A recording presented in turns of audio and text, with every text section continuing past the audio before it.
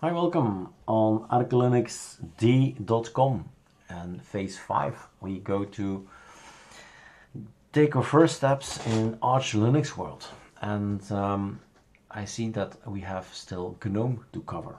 So let's follow maybe. Let's first open a browser and take a look at how the site is, is uh, organized so arcolinux.d, I'm going to close other tabs and move over to here. So ArcoLinuxD, you know by now that we work with phases and learning phases. And in phase 5 we are leaving ArcoLinux for what it is and we're going to install Arch Linux. And later if you want you can spice up your Arch with elements from Arch Linux back. So you see, oh, I forgot the nice wallpapers or the nice themes for playing and I want to have that alias and so on. So you can get stuff in from Arco. Now, so as you can see, Awesome BSP GNOME is not mentioned here. So it's an, a very easy way to uh, install. But let's, um, let's go over the phases. So phase one, you either choose for an old, let's call it old uh, motherboard or mainboard and, and or a UEFI, so a newer one. So it's two ways how to define your hard disk, essentially how you should format uh, your partitions and all that. Then in phase two, let's take a look. In phase two, you're going to actually install uh, stuff on it in the sense that uh, we need, let's have a look, where the, Yaourt stuff is, is out, but we take then uh, something else, Yay for instance, or Trizen, and you install all kinds of things in here, but there's no still no user, there's still no desktop, so that's phase two.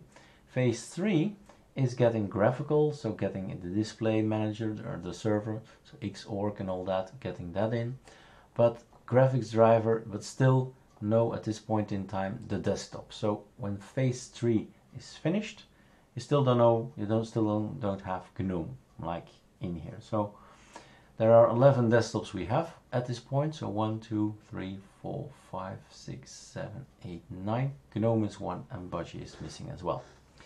So how to proceed to uh, install GNOME? Well, it's pretty much the same as everything else.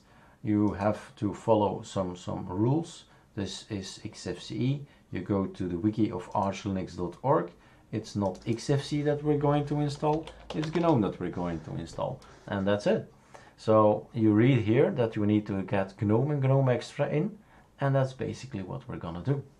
So just showing you this because we're jumping in at phase three. Okay, so we have already done everything here. We have here all the phases in different little compartments. So if I, you can, I can do this one in the sense of the UEFI, or I can copy from here and then it's BIOS. uh, so the, the MBRs thing, it doesn't matter, uh, the process of what's going to happen is the same, but I'm just telling you what I'm working on. Okay, so phase three is finished and I'm going to go to GNOME and I'm going to go to phase four for GNOME. So I'm going to clone this, the situation as it is at that point in time, which is maybe, probably very old, because uh, tutorials on Arch Linux is a while back, in a sense, maybe even six months back. So we'll get some updates in, obviously. So let's get that out of the way as well. And then decide how to proceed. So bad luck. It's on the other screen so I'm gonna put it here and hope that it stays here. It does. So Arch Linux booting up. Probably a lot of things to do. Now this means that LightDM is installed. Not only installed it's enabled. It's there okay? Now if you click here there's nothing to click. So behind LightDM a session should start, XFCE, Mate, anything, but there's nothing to start because nothing is installed. Now the trick in VirtualBox is to press the right control, the keyboard, right control and then F2 at F3 or anything to start the TTY. Not Control Alt F2, but the right control. And we're in. What we need to do is read, follow whatever they say we should do. And it was here. So GNOME and GNOME Extra are the things we're missing. Okay. Now there's another way to proceed as well, and that's of course work on the GitHubs of Arch D. And in here, obviously, we have GNOME. And in the first of the scripts, we'll just do just the same. So this is already done, LightDM is already done, so this is the line that we're going to do now. Okay, and LightDM is already installed. So things are already done, but you can gather, you can analyze from this as well, because we've taken a look at this one and put it in a script. That's all we did. Read, apply. Okay, move it to the sides. So updating, let's see if we need to update. Well, update is an alias from ArcoLinux. Alright, command not found. It's not a command. So sudo pacman minus syyu. Let's update everything. Let's synchronize the databases. It's this old question he's going to ask again. It's okay, it's only 1.7. We've had worse. That upgrade is only 105 megabytes. It's not much. So while that's doing its thing, let's pause the video for a while. Okay, I saw a kernel passing by, so I'm rebooting, letting the kernel to kick in. There you go. So, still no mate, nothing here. So control, right control, F2, let's take F3 this time. Okay, TTY3 and then we log in. So again, what do we need to type? sudo pacman minus s and let's move that one over here. So let's take that one, the official one, GNOME and Extra, and that's the same here, GNOME and GNOME Extra. Okay, we start typing GNOME and GNOME Extra.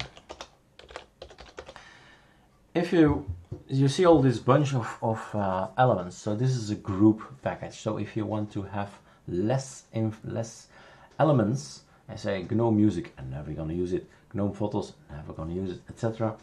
You might try and, and start making a script to just install the ones you need and not just everything, but at first just start by clicking and entering. So he asks a lot of selections here and just take the first one, so the default one. It's up to you to decide if you want something else. But GNOME, you see how many gigabytes it's going to take. GNOME is a complete desktop environment. So there we go. And let's pause the video again because this is going to take also quite a while. Okay, everything installed just fine. We have GNOME installed and GNOME Extra. So LightDM is active We've seen that if you want to see technical, if it's active or not. System, CTL, uh, M, CTL status of your LightDM thingy. And there you see the errors, okay, fine, but it is active. Here upstairs, here you see this green thing, my, my cursor is moving towards and it's gone. So active running. So never mind all the errors, control C I guess, yep, sudo reboot and let's have fun. So this is gonna be a GNOME without any tweaking. So this is how GNOME looks out of the box. Always nice to see. First impression of an i3, first impression of Mate, first impression of XFCE, any desktop is always how will it look without any tweaking. So this is it. This is your GNOME system. Click here, you see here uh, all the possibilities, show the applications, icons. See just three bullets, so it's not that much software. Does what was it, two gigabytes or something? So a lot of elements are in here already to have a complete system for video, weather, to-dos, CD, um, sorry, USB, writers and all that some games, photos, maps. Okay, so that's your, your GNOME system out of the box. This is how it looks. Right mouse click, change background. You can do some stuff here, background, and choose something else if you like that. I actually like this one, so let's keep it. And then notifications, lots of things that I've gone into in Arch Linux D already when we were scripting. So what can you do now? You can say, okay, um, for instance, let's have a look. Firefox is not installed. So what do you do, termite, not installed, but there is a terminal. So let's have a look at the terminal. What terminal is this? Have I just launched? The GNOME terminal. Now the GNOME terminal, for instance, I don't think it's uh, gonna be transparent. Don't think so. So one of the things, well, I like about Termite is the thing that it's, it's it can be made transparent, for instance. Um, so I was thinking about the following. So you don't have Firefox, so you can start. Okay, we have still the keyboard issue that I should check and set, but let's quickly do it like this. So I'm gonna sudo pacman minus s Firefox, and you start by installing everything else that you require and it will be there at some point installing Firefox. If you click here click there and Firefox is here and there we go. And you set up your system any way you like. So that's warning close and there you go. So that's I guess the end of this tutorial. Installing GNOME was just typing two words sudo pacman minus s gnome gnome extra. All the lego blocks came in and now it's time to start tweaking more and more. All right